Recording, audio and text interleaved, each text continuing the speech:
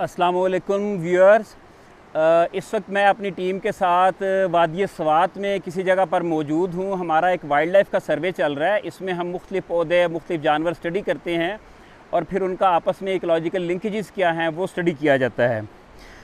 इस वक्त मैं आपको मुतारफ़ करवा रहा हूँ इस पौधे के साथ। ये आप इसको देख सकते हैं।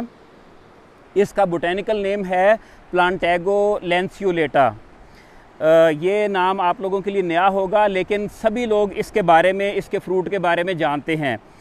इसको उर्दू में इस भूगोल कहते हैं, और ये तकरीबन हर घर की ज़रूरत है, हर घर में इस्तेमाल किया जाता है।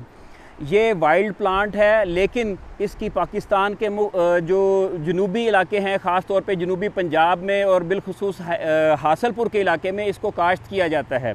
व्यूअर्स इसके जो तिबी फ़वाद हैं, उनमें जाम हज़म की जितनी बीमारियाँ वो सर फहरिस्त हैं। यानी कि अगर किसी को दस्त या असहाल का मर्ज़ हो, उसमें छिलका इस्तेमाल करें तो अफाका होता है। अगर किसी को कब्ज़ की शिकायत हो, ये छिलका इस बोल इस्तेमाल करें तो फ़ायदा होता है। अगर हती कि किसी को डायसेंट्री या पेचश लगे हों, उसमें भी ये मुफीद है। ये कोलेस्ट्रॉल को भी कम करता है ब्लड प्रेशर को भी कम करता है हती के मोटापे को भी कम करता है। वो इस तरह के इसमें फ़ाइबर कंटेंट बहुत ज़्यादा होता है। और ये जो लोग जंक फ़ूड खाने के आदि हैं बर्गर पिज़्ज़ा दाएँ बाएँ, बाहर से जो खाते हैं वो उनको चाहिए कि वो अपना शौक़ भी पूरा करें, लेकिन ये सब खाने के बाद, आधा घंटा के बाद अगर इसका एक चम्मच पानी में हल करके पी लें तो वो जंक फ़ूड का असर भी ज़ायल कर देता है।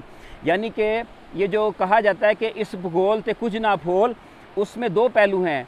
कि एक तो इसमें छिलका ही छिलका है, खोलते जाएँ, छिलका निकलता आएगा, फिर खोलते जाएँ, छिलका निकलता आएगा। दूसरा पहलू उसका ये है कि ये बहुत सारी बीमारियों में एक अक्सर की हैसियत रखता है कि इसके हम क्या क्या फ़ायदे बयान करें। इस बोलते कुछ ना फोल यानी कि इसकी कौन सी खूबी हम बताएँ कौन सी छोड़ें। बहरहाल ये वादी सवात में यहाँ कसर से पाया जाने वाला पौधा है।